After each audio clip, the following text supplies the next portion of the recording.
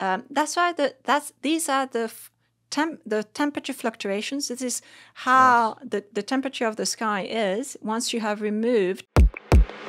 Um, we can go into that if you want Please. to. Um, so when the universe was really, really young, it was very hot, very dense, and rather than being beautiful as it is now, it was more like a a, soup of fundamental particles all mixed in together. And so, if you imagine you are a photon and you're trying to travel, you're not going to go very far because you're going to be bumping onto lots of people, lots of electrons, for instance. But as the universe cooled down, it relaxed a little bit, it, it became um, not as hot, and the electrons got trapped around nuclei, and so those created neutral structure. And when that happened, the photons could all of a sudden go freely.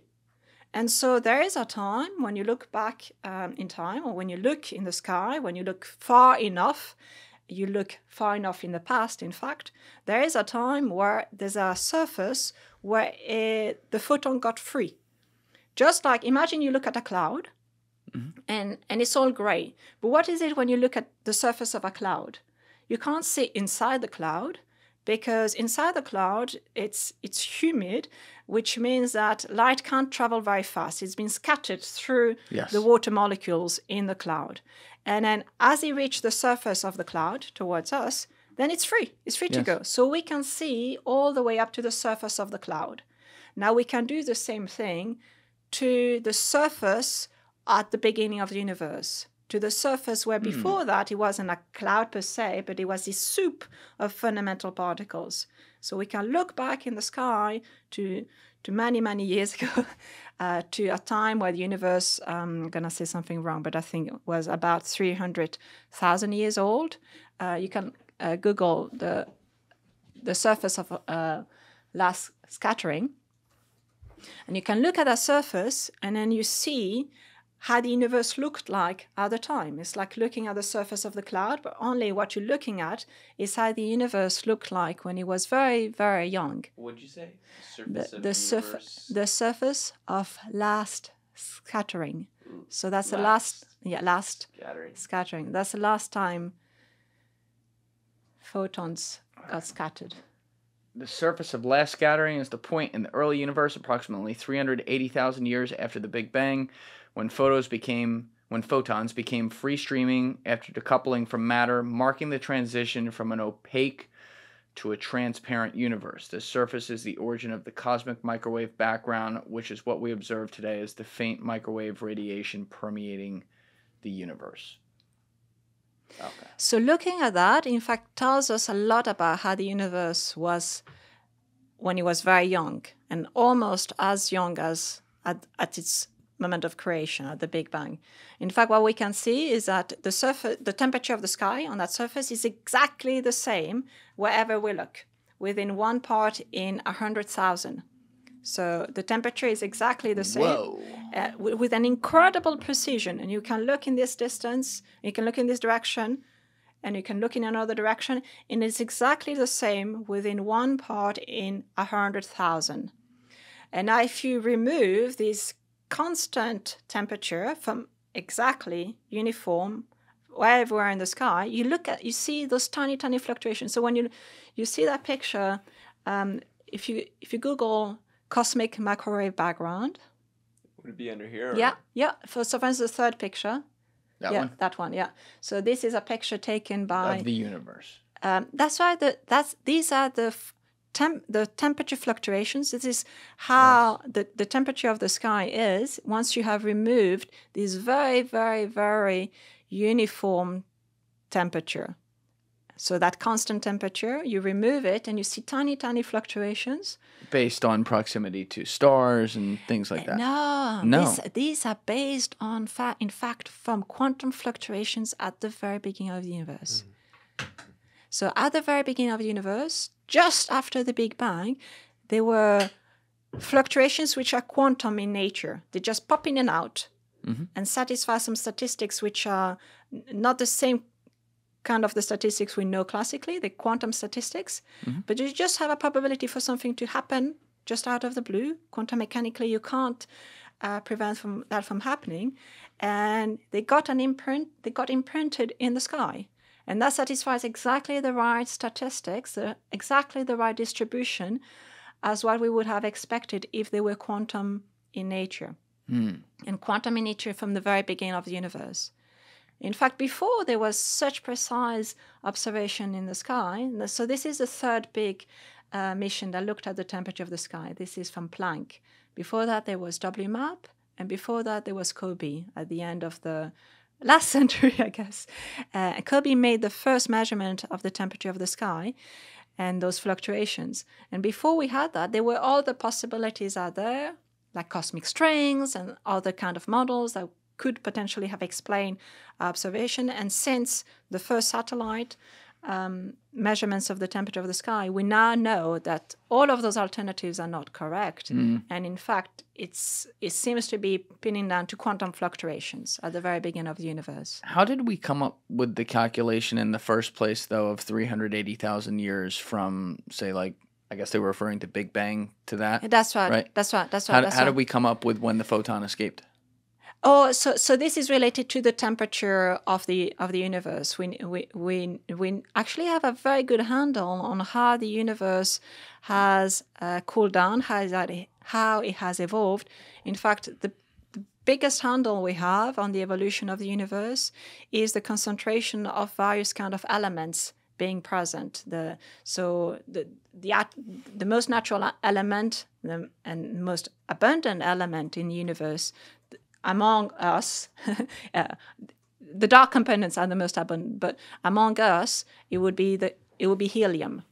Um, and then if you took two helium atoms and you put them together, they're gonna generate. Uh, um, sorry, the first scratch that. The most abundant one is the hydrogen atom.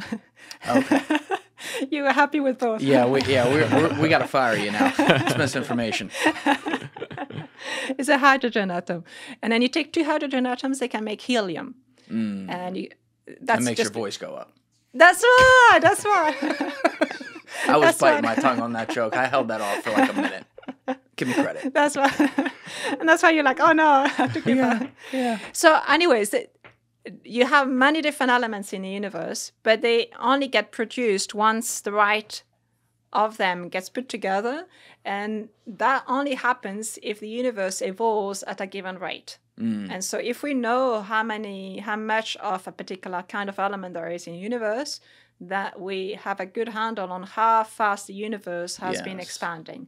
So we actually, this is really, really precise. We can't play with that very much. Now, wasn't there an argument, and maybe I'm misremembering the numbers or what the what the status was here, but I, th- I think this was back in 2023. I remember, I think Brian Keating was in here talking about it. But wasn't there an argument suddenly about whether or not the universe was around 13 billion years old versus 26 billion?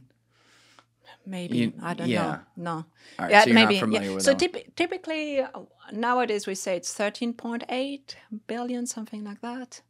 That's exactly correct. I had that one ready. to go. Oh, okay. so I don't, I don't know. I should, I should ask him what he had in mind. Um, there's various type of um, arguments about all sorts of things. Um, now I'm trying to think what he was thinking about. Yeah, can we yeah. Google that, Alessi? Age of universe, 13 billion versus 26. Just keep it round numbers. On the temperature topic, Yeah. is the temperature of what it is now assumed to be consistent? Yes. Yes. So Yeah. how does that work? Because if you go back to this original side, everything was dense, everything was hot because it was compact together. So if the universe is continuing to accelerate, wouldn't you assume it's going to get colder? Yes. It's gonna get colder and colder. Yeah. It's it. gonna be very cold. So. Yeah. All right, so And we, you're gonna we- get very lonely because things are gonna get very, very diluted as well. Right, Yeah. okay. Yeah. all right, so we have this up here. Alessi got this. The age of the universe is generally estimated at 13.8 billion years. However, recent studies suggest that the universe may be significantly older, potentially around 26.7 billion years. The new research, while sparking scientific debate, proposes that the age of the universe may be nearly double the current estimate. So, Ra- Rajendra Gupta of the University of Ottawa, in a study published in the monthly notices of the Royal Astronomical Astronomical Society, suggests a much older age of 26.7 billion years. This proposal is based on observations of early mature galaxies by the James Webb Space Telescope, which seems to contradict the standard age of the universe. Ah, yeah. Yeah. Yeah, I, I, uh, I know what you mean. That yeah. makes sense to you. So, uh, what does make sense is indeed there's been observations of formation of galaxies much earlier than we would have anticipated, and that's great. That's Mm. great. Anything that uh, challenges us is great. Now, whether the explanation is that the universe is much older or anything else, I don't know. I really Mm. don't know. But it wouldn't change. It wouldn't change the math on solving for the say the three hundred eighty thousand years post creation, where the photon escapes, because that's based on the temperature changing upon creation and not necessarily when creation happens. So whether it happened thirteen billion years ago or twenty six billion years ago, it's the same concept, temperature speaking at the beginning. So what that doesn't change now is in fact the time from us to that surface. Okay. And, we, and we- can look at that surface, yeah. Got it. Now, what may have happened at the very beginning of the universe, we don't know exactly. And there could be much more time there or le- far less time um, at that point. I We don't know. Far less time. Well, no, no, sorry. They, they could. uh, What I mean is, we we we set time zero as a Big Bang, and then we sort of set up the the clock from there. But precisely what happened during the first uh, ten to the minus uh, twenty second, whether that was ten to the minus minus twenty second, or it was a tiny bit more, but tiny bit less, or there was something before that, we don't know. Mm. Where do you think it all comes from? Like, do you, do you uh, believe in a creator? I believe in physics, so I believe that something something must have happened. No, the the the curious question is it's much more natural than nothing was there. If, if you ask me what is what is uh, the highest probability of the outcome, what is the outcome with the highest probability? I would say there's nothing. So it's amazing that we we have the chance to be somewhere and to ask ourselves those questions. Um, now I don't need to have something with its own intelligence or its own being to explain the creation of the universe. I think science is much more creative than, than that, um, even if we don't really know what the answers are.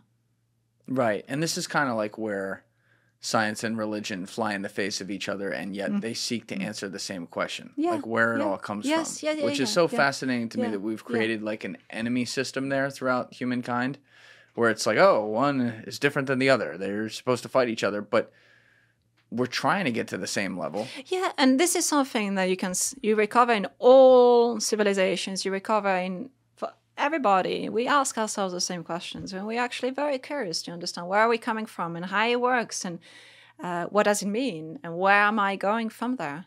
Thank you guys for checking out this clip. If you haven't already subscribed, please subscribe and hit the like button on this video. It is a huge, huge help. And if you'd like to check out this clip's full podcast episode, that link is in the description below or right here. And finally, you can follow me on Instagram and X by using the links in my description below.